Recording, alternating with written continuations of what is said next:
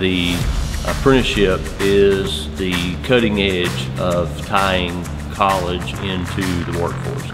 And at the same time as the students in class learning the content, they're also on the job getting that hands-on experience.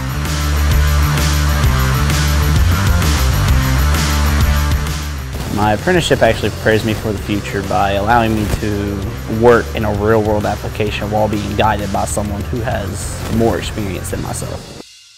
From through my experiences at work, I've actually managed to learn how to install grill guards on the trucks. I've learned how to do wheel seals, change tires.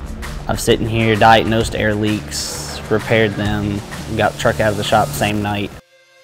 My first day at work as an apprentice, I felt kind of out of the box because I've never been in like a position in the shop. Uh, right now, I feel uh, very comfortable. Like they welcome me with open arms. My advice for incoming students through Forsyth Tech or any program to stick to what you want to do and you can succeed with anything you're capable of.